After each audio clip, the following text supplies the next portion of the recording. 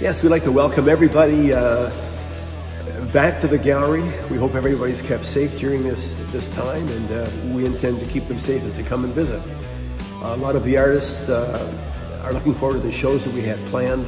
In the meantime, we're going to carry on with the, uh, with the show that we've had hanging. We think you'll enjoy as you come and visit the 13th Street Gallery.